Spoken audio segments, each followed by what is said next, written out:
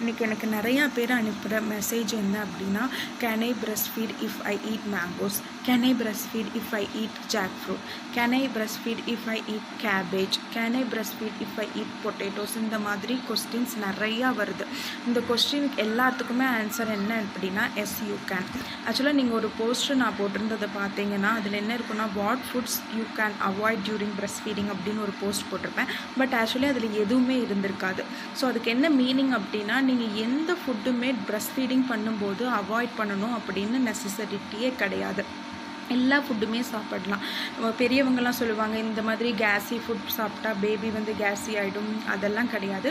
Baby வந்து immature cut இருக்கிறதுனால தான் அவங்களால சரியாக வந்து ஃபுட்டை டைஜஸ்ட் பண்ண முடியாது கேஸியாக இருப்பாங்க.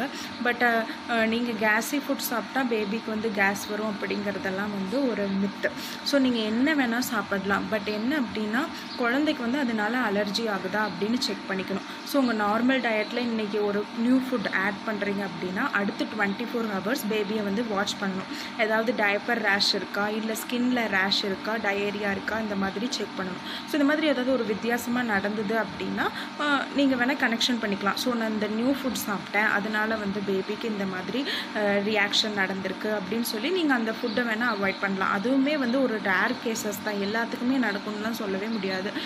எல்லா ஃபுட்டுமே சாப்பிடலாம். அதனால் எதுவுமே அவாய்ட் பண்ணணும் அப்படின்னு அவசியம் இல்லை. என்ஜாய் பண்ணுங்கள் எல்லா ஃபுட்டுமே சாப்பிடுங்க. ப்ரெஸ்ட் ஃபீடிங் பண்ணும்போது. பை